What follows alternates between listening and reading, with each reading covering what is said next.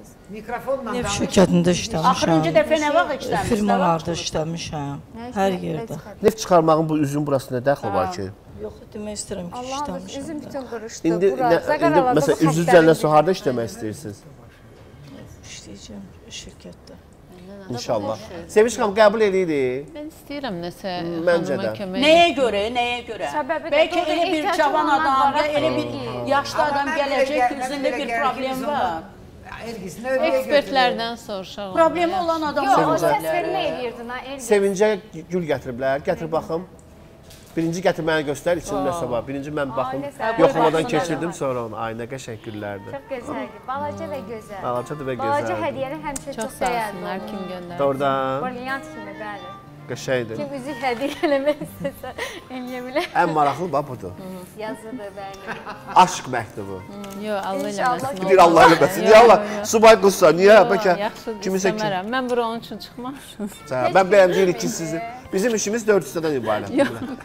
Dördüncünü mən bax şey məktub yazıblar. Oxuyaq təqdim bunu. Gör nə uzunluğuna. Özü, özü e, icazə. Mən Yox, əlbəttə. O qədər də tərbiyəsiz Yox, deyiləm. hey, estağfurullah. Dedim ki, məktub yazın. Deyirəm icazə istəyirəm ki, oxuya. Əgər bilim, Olar kimə baxım yazdı bu? sonra, bəlkə- yazsın, qoy mən nəzarətdən keçdim. yazır.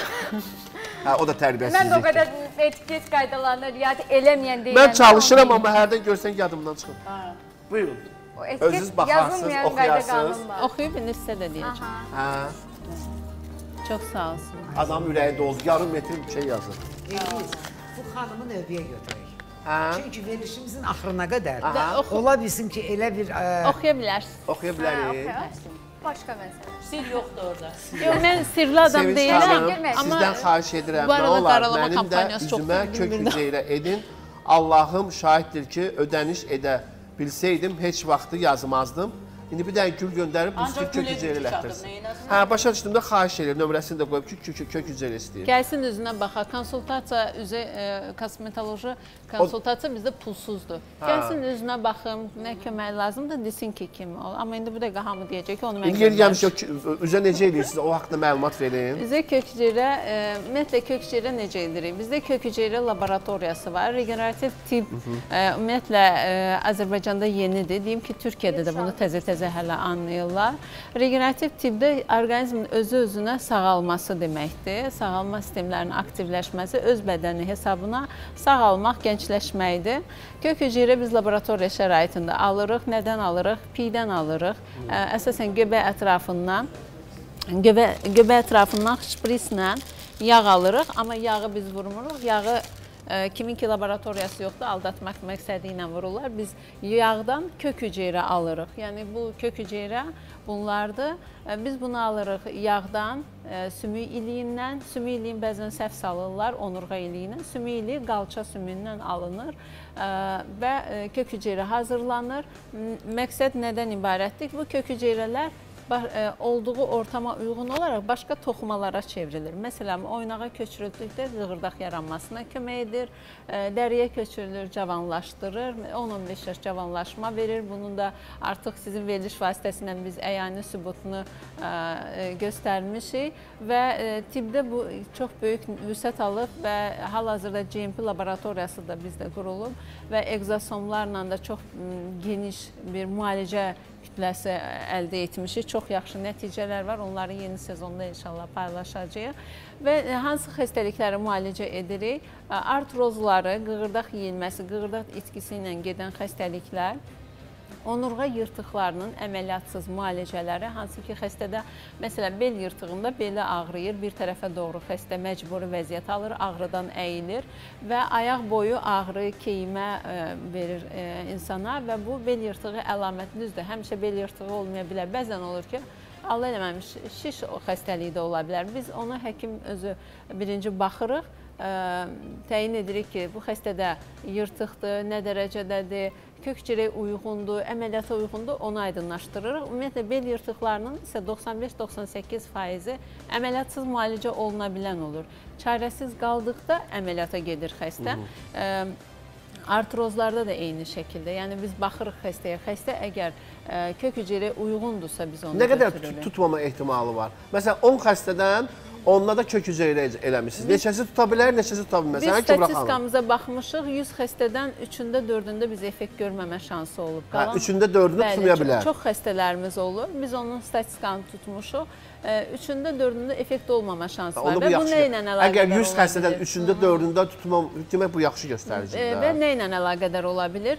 Bu biz öz işimizi görürük. Buna cavabdehik. Mən laboratoriyama cavabdehəm, öz təhsilimə cavabdehəm. Bu barədə bir problem yoxdur, sübutum var. Amma xəstə 6-8 ay ərzində evində olur bu bərpa prosesində.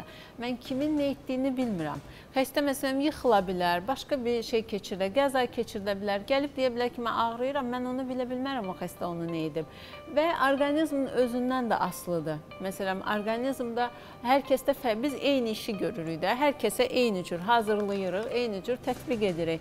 Sağalma biri bir ayından tamam ağrısı keçir. Bəzi xəstələrimiz var 3 ayıdır deyir ki, mən o bir ayda sağalıb, mən niyə hələ sağalmamışam? Bunlar məndən asılı olan deyil.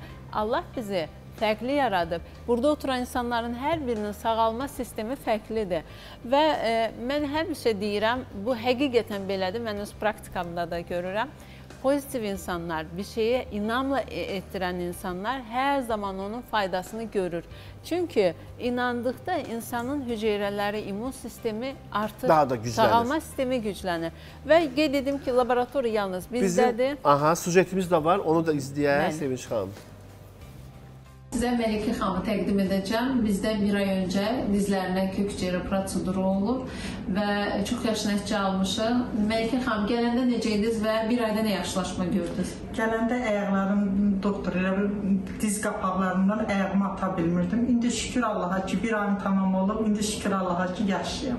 Rahat yeyə bilirsiniz. Bəli. Şükürlər olsun. Sizin köməyinizlə. Allah razı olsun. Çox sağ olun. Öncə Allah. Bir də özünüz də yaxşı qorunmusunuz. Ona görə sizi də təbrik edirəm. Çox sağ olun. İnşallah 8 ayınızda daha gözəl bir nəticə. Mən düşünürəm çox gözəl bir nəticədir. Çünki oynağın hərəkəti də mükəmməldir. 8 aya e, tam sağalma, bərpa gedər, onu da paylaşarıq. Aha, yaxşı. Sağ olun. İndi yaxşıyam. Yəni əvvəl çox ağrıyırdı, axsıyırdım, çox şiddətli ağrılarım olurdu. Amma indi yəni, ağrılarım keçibdi, çox gözəl yerim, yerişim də yaxşıdır. Əvvələ axsı-axsı yeriyirdiniz. Yəni axsı-axsı tuta-tuta gedib gedirdim. Yəni yarım saatdan çox yəni yeriyə bilmirdim də. Şiddətli ağrılarım başlayırdı. Şükürlər olsun, bir ay üçün çox gözəl nəticədir. Heç bir ağrımız qalmayıb, rahat yeriyə bilirik. Biraz həyecanlıdır pasiyentin. Ee, İnşallah tam 6-8 aydan sonra da e, sizinlə paylaşım edəcək. Amma hal-hazırda belə çox gözəl nəticədir. Heç bir ağrısı qalmayıb. Daha nə istəyir? Və dizi də açılıb bükülür artıq. Doktorumuzun nömrəsi gətirsin ekranlara. Zəhmət olmasa yazın 050 309 77 87 050 309 77 87 Sevinç Heydərova. Bəli. Və Elgiz bəy, bu arada mən e, çox təşəkkür eləmək istəyirəm sizə və bizim dəyərli aktrisamız Kübra xanım